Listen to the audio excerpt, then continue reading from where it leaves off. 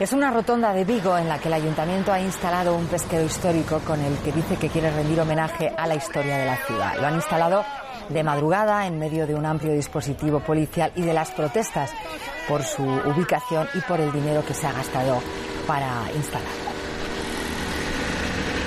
La polémica por el barco en esta rotonda de Vigo dura ya meses. Los movimientos sociales del barrio critican el gasto en un momento de crisis. El alcalde dice que es un homenaje a la gente del mar.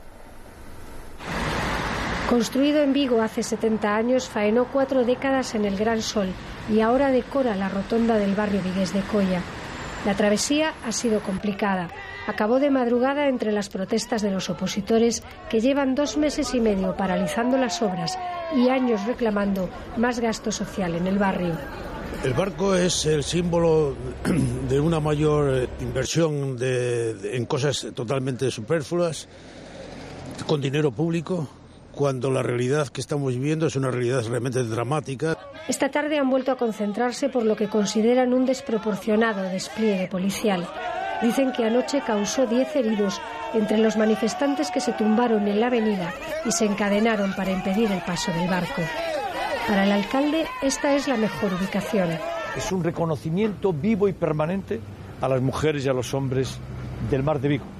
Pero además tiene otra característica adicional y es que es precioso. El Bernardo Alfajeme es hoy la atracción del barrio. Muy bonito, está muy bien. Eso no hace daño a nadie. Creo que hay mucha gente que necesita para comer y no precisamente un barco. Todos los partidos de la oposición defienden que se conserve en el Museo del Mar.